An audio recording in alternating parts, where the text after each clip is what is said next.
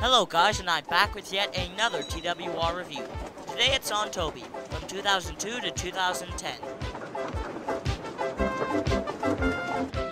Now Toby's been around in uh, Thomas Wooden Railway since the beginning, and he's gone through some changes. Let's take a look at this particular model. Now, as we can see, Toby has a very accurate face and very nice detailed except he doesn't have the framework. Now let's take a look at the side. Now the side is awesome.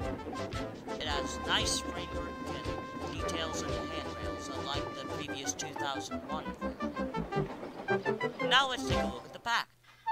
Now, like the front, it doesn't have any frame.